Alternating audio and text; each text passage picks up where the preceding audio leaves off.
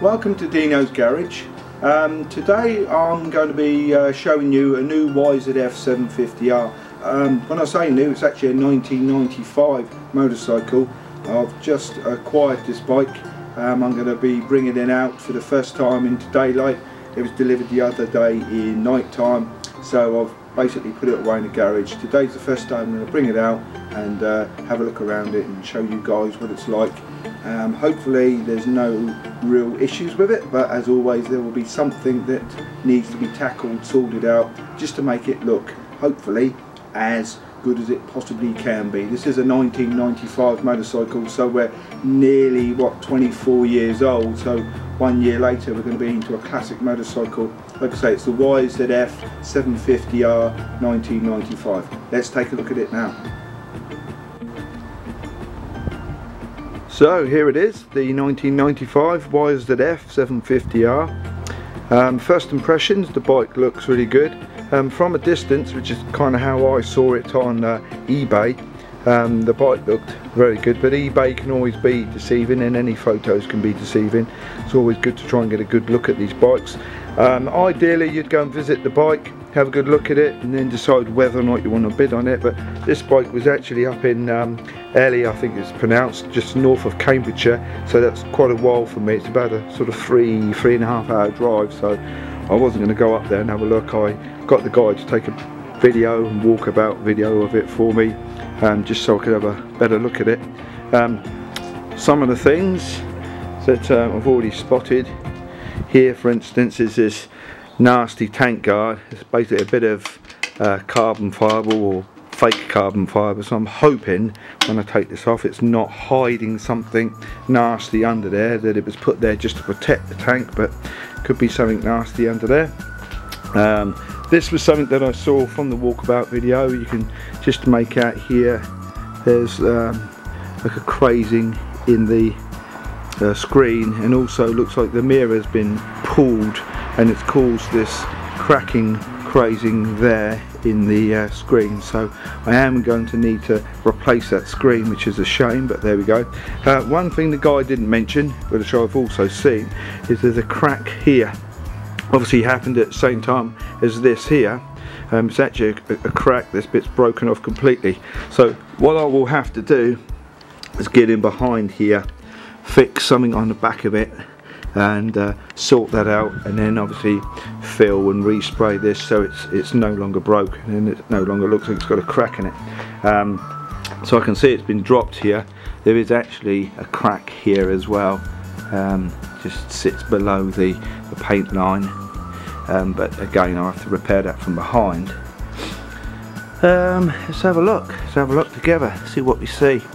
Um, YZF 750R six six pot brake calipers um, awesome brakes on these bikes.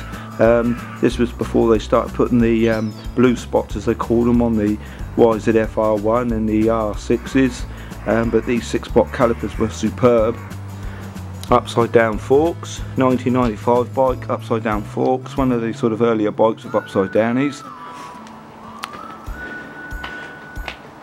has an Öhlins stick on here which you think yeah right like it's got Öhlins but um, they did have Öhlins shocks on these bikes. You can see here that's the uh, the Öhlins adjuster and that's the Öhlins shock in there.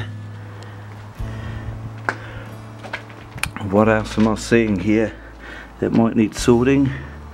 Um, needs a good clean that's for sure. A lot of oil and muck all around this area obviously with the chain someone's overly oiled the chain and it all sprays up everywhere gets over all the wheels there's always these sorts of things you see on a lot of bikes that you buy. People overdo things and over lubricate things. Better that than not enough. Um, forks look okay. Might be a little weak there yeah looks maybe like the fork seal's gone there. Quite a bit of oil coming out. So that fork seal and that upside down he may be gone bike's only done uh, 27,000 miles which is not a great deal um, for previous owners. So yeah little little bit of work to be done um, but I'll clean it up today get it looking nice and clean um, might even get to tackle that broken bit of the upper screen order a replacement screen didn't know about the front fork so I don't think. Um, so that'll be a bit of a bit of a tricky one but I'll sort that out. And there we are. That's the YZF 750R 1995 model. Looks a very sweet bike um, handles superbly. Um, when you read some of the older videos see some of the stuff on YouTube read up about these bikes um, they handle very well of course but they're a very good all-rounder. They're actually pretty comfortable easy to ride. And yeah a bit of a contender really for the CBR 900 uh, Fireblade. Welcome back to the uh, video of the YZF 750R uh, I've gone through and um, been cleaning it um, and as you clean uh, any bike give it a real good clean a real sort of detailed clean you'll begin to see small details of things you know that may be missing or broken or things that aren't broken things that actually are very good for its age etc so having gone through um, for instance the front fork area um, the front forks are actually really good condition. One thing I'm impressed with with this bike like I say it's a 1995 is actually Yamaha built a very good quality machine here. I often think that Honda CBR, CBR 400s, which I've had a few of, are very good quality bikes but um, this Yamaha is as equally good quality. I mean as you can see here the, the original paint is all in very good condition.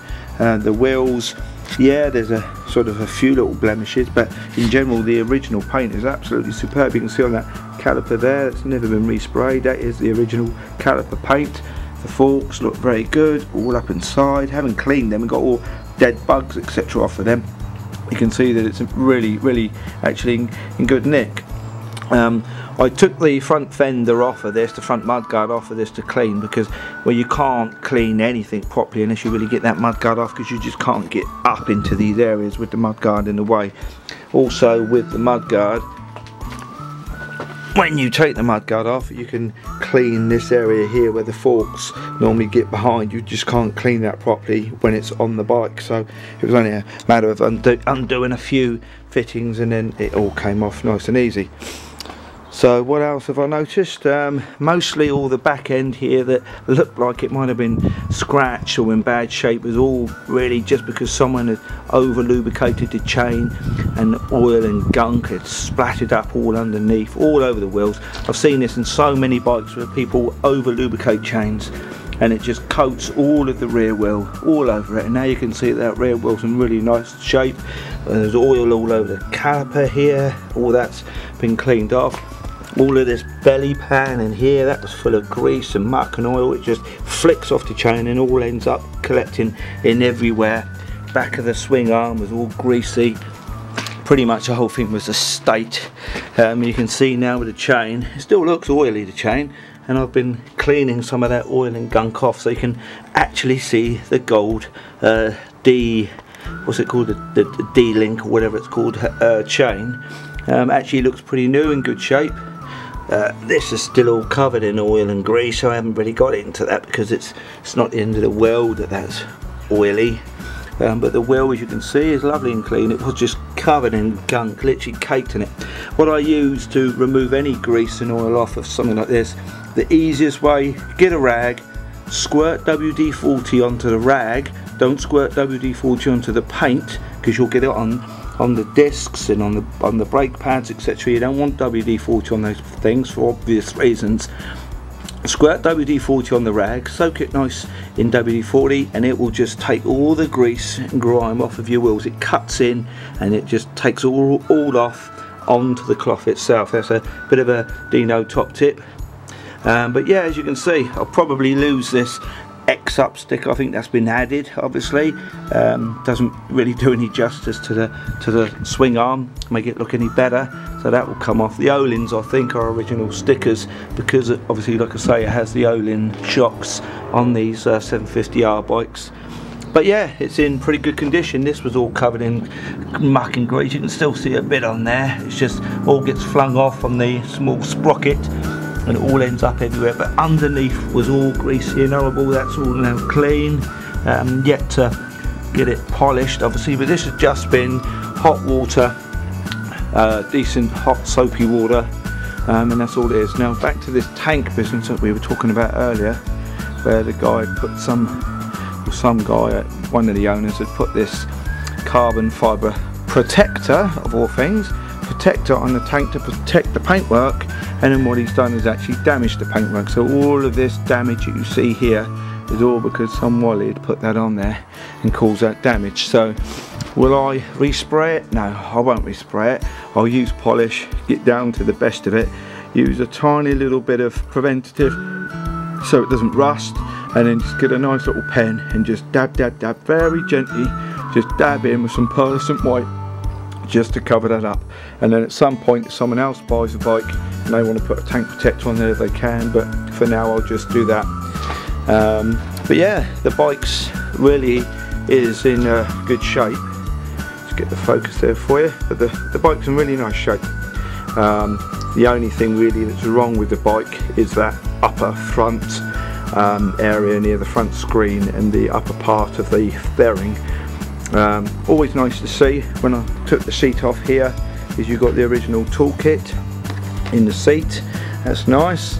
Um, nice little idea that Yamaha have that uh, Honda didn't have with the CBR 400 or the 900 Yamaha's seat clicks under here and then to remove the seat once you take this back bit off which just comes undone from the key so key goes in here loosen that or turn that that loosens the mechanism here and the, the rear hump just comes straight off. And then you've got this nice little pull here that pull there releases this bit and then the seat just releases. And you've got access to the battery. Really simple but a really nice little bit of design there from Yamaha. I like that. Um, everything's nice and easy to get to, battery, fuses, etc. Uh, that's the reservoir, obviously for the expansion reservoir for the radiator. Um, yeah, just going back to this area. So this is the real problem area that I'm going to have to tackle.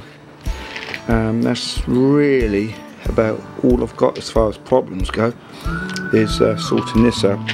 So I'll have to get some, uh, what I use normally people some people try and weld plastic but what I do is I'll, I'll get some resin and uh, glass fibre mesh on the back of this that will brace and bond it together and hold it. And then obviously that crack will be held together at the back. Probably use a little bit of glue in there. At the same time as resin at the back. Then fill any crack in and then respray over the top to, to finish off. So that'll be a little bit of work. Other than that um, today I've got to drain out the old fuel. There's some nasty fuel in there that I've got to try and drain out. I will try and siphon that out rather than have to take the tank off and undo the taps and the hoses etc etc. Um, that's not always easy on these bikes. Uh, older bikes are really easy where you just had a hose and a tap and off they came. You just obviously turned the tap, took out the old fuel, put it back on, nice and easy. On my VN, VN which is a 2006 VN that thing's got no no technicalities whatsoever. That bike is basically like a could be a 1960s 70s bike. It's just a very simple setup with the petrol tank. You just literally take the tank off you've got a tap two hoses and you just turn the tap take the fuel out and then put no fuel in once you obviously put it back on. Whereas this will probably a bit be a bit different with pumps and things. Um, so what I'll do is try and siphon the fuel out of this uh, into an old can, go and get some new fuel from the petrol station and then after you put some nice high octane uh, unleaded fuel in, fill it up as much as I can. It's always good to fill up as much as you can with high octane fuel, especially this time of year when it's cool and damp. You don't want water sitting in your tank and uh, most unleaded fuels will have a degree, a percentage of water, hard to believe I know, but if there is water in fuel and the higher octane you get the less water percentage you'll have in there. So fill it up as much as you can because that means there'll be less vapor that can actually sit in your tank because you've got more fuel in the tank and that will prevent rust and things causing you issues. And obviously the high octane will be better. Try and start her up this afternoon see if she runs on that new fuel. So that's where we are at the moment with the uh, YZF 750R Right, so um, having uh, siphoned the old fuel out of the tank, um, I've got as much as I can out of there. I haven't siphoned a, a, fuel tank for, for many, many, many years. Not really to be recommended, but um, it was a quick and easy way of getting most of the old fuel out. So, I have just um, siphoned an entire sort of 5 litre can of fuel out of that tank and I've replaced it with a new 5 litre can of fuel um, and I am about to see whether or not uh, it does start up now. I've been told and I was showed on the video that it does start.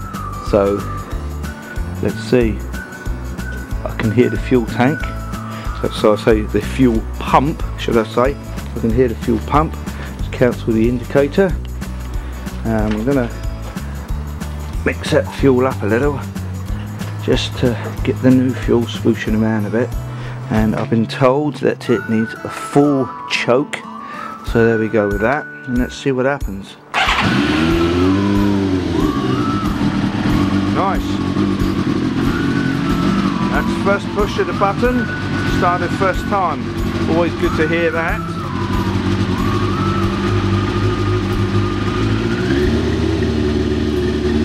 Probably just works on full choke.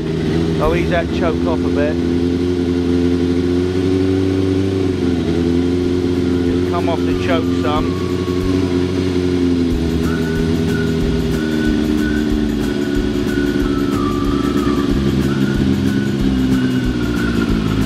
Get it to about sort of one and a half thousand revs if you can.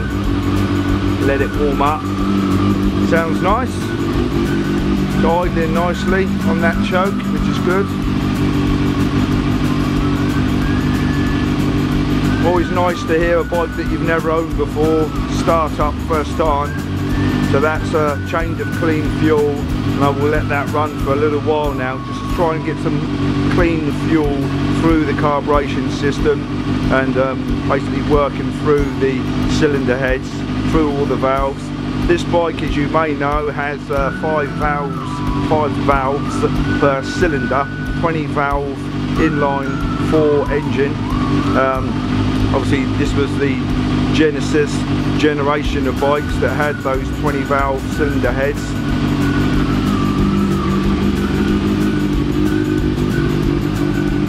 As always there'll be a bit of moisture coming out the exhaust moisture always sits in uh, in the exhaust. Nothing to ever be a, a afraid of or worried about initially. It's whether you get moisture once the thing's heated up because once the engine warms there should be no moisture coming out. And if there is then you obviously know you've got a, a cylinder head or uh, you know a problem somewhere there where there's water getting into the cylinder head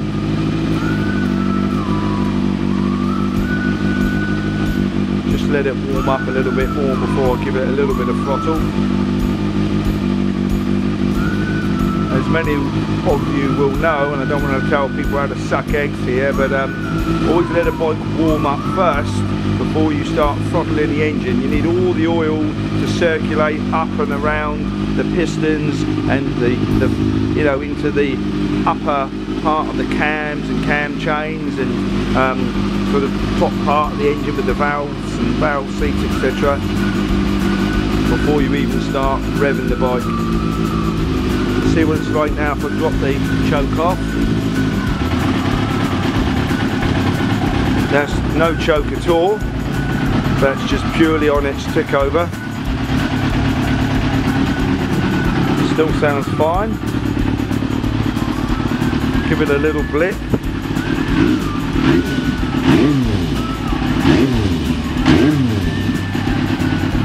That exhaust is very quiet. I'm surprised that um, someone's replaced the end can with this carbon fibre end can and it's a, it's a very tame end can. I've heard lots of bikes before where people have changed exhausts and they've been very very noisy but that's a very quiet, very sort of smooth sounding